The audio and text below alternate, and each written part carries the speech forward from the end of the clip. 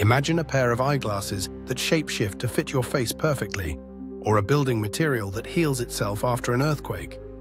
These futuristic ideas are becoming reality thanks to ferroelasticity. Ferroelasticity is a property of certain materials that enables them to change shape dramatically when stressed, then return to their original form once the stress is removed. Think of it like a reversible origami. Apply force and the material folds, release and it springs back. The secret lies in the atomic structure. Ferroelastic materials have domains or regions that can reorient themselves under external pressure, much like flipping tiles in a mosaic.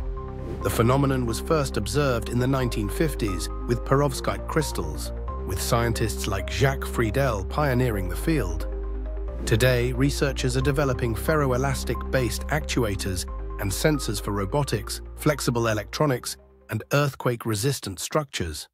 What if your phone could self-repair, or bridges could adapt to shifting loads? That's the promise of ferroelasticity. Which everyday object would you want to see become smart?